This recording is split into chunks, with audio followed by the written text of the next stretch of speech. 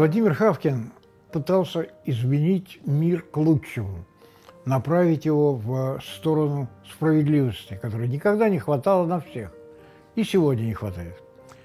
А без Индии Хавкин не стал бы Хавкиным, тем Хавкиным, которому чудом не присудили Нобелевскую премию. Он того заслуживал.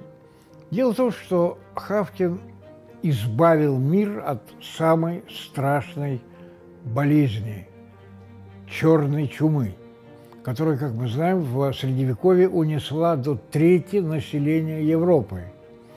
И вот приходит Хавкин, мечтатель, и э, путем экспериментов и пробы на себе изготавливает вакцину против чумы и против холеры.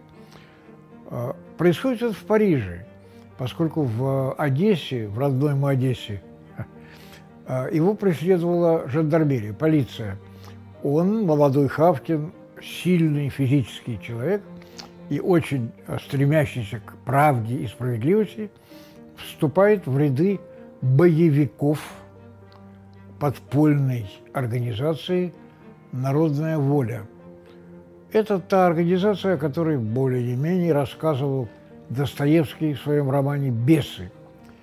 И вот э, эта организация, боевики организации убивают царского генерала в 1882 году примерно было дело – Э, этот генерал был убит, и Хавкин принимал участие в покушении. Потом он спасается бегством из России, где его преследует полиция.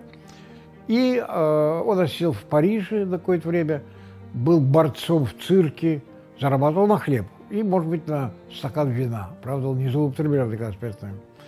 И потом его принимают учеником библиотекаря, помощником библиотекаря в институт Пастера – туда, куда он мечтал всю жизнь попасть. Там он по ночам работает в лаборатории, ему разрешает Пастер, и э, там он изготавливает свою первую вакцину, вакцину против холеры, которая принесла не меньше бед Европе и миру, чем чума. Однако э, это конец 19 века, и коллеги его не воспринимают работу с микроорганизмами – Э, бактериями э, всерьез. Они считают, что не может быть, что какие-то маленькие зверюшки э, были настолько опасны. И вот англичане, которые внимательно следили за тем, что происходит на континенте, они видели и знали, чем занимается Хавкин, и они его приглашают к себе на работу. Приглашают его военное министерство, потому что англичане терпят ущерб великий – от того, что их солдаты, которых они направляют в Индию, прежде всего, и в тот регион, они заболевают э, инфекционными болезнями и погибают. И вот Хавкин принимает приглашение и назначается государственным бактериологом в Индию. Там он проводит около 15 лет своей жизни, совершает чудеса, путешествуя по джунглям и делая уколы противочумные, противохолерные – местным жителям, а также вакцинируются все солдаты на службе британской короны. А, это приносит ему всеиндийскую известность, а также и всеевропейскую. Почему?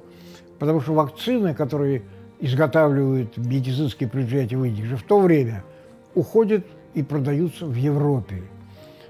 Хавкин получает орден а, английской короны – он почетный человек в Англии, и он э, понимает, что он помогает миру стать более справедливым, но недостаточно быстро.